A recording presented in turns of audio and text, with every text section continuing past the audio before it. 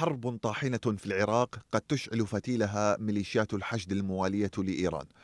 هو ملخص تحذيرات دولية متصاعدة في الآونة الأخيرة.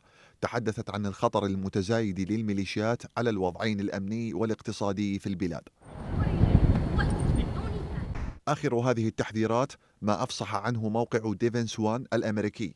مؤكدا أن هناك مخاوف حقيقية لدى كبار المسؤولين العسكريين في واشنطن من أن تدفع ما وصفها الموقع بالميليشيات المارقة في العراق إلى حرب أهلية طاحنة في إشارة إلى صراع دام محتمل بين فصائل الميليشيات المتغانمة على ما تبقى من موارد العراق ومقدرات شعبه.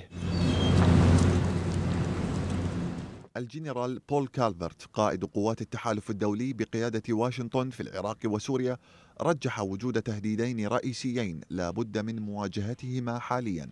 الأول هو استمرار سلطة الميليشيات والثاني هو الملف الاقتصادي المهيمن عليه أيضا من قبل تلك الميليشيات. تقرير موقع ديفنس وان أكد أن مشكلة واشنطن تتلخص في استمرار وجود الميليشيات على الأرض واستمرار فرض سلطتها على الحكومة الحالية في بغداد وتلقي التمويل اللازم لديمومة ذلك النفوذ من إيران وإصرار الأخيرة على عدم تقاسم النفوذ مع أمريكا متذرعة بملف إخراج القوات الأمريكية من العراق وهو أمر لن يتحقق على المستوى المنظور بحسب محللين. المعطيات السابقة تبدو كافية لنشوب نزاع مسلح من شأنه قيادة البلاد نحو المجهول لا سيما بعد تصريحات أطلقها وزير الدفاع الحالي جمعة عناد حينما حذر الشهر الماضي من نشوب حرب داخلية بين فصائل الميليشيات بسبب استمرار قصف المنطقة الخضراء في بغداد والبعثات الدبلوماسية الأخرى والقصف على أربيل مؤخرا.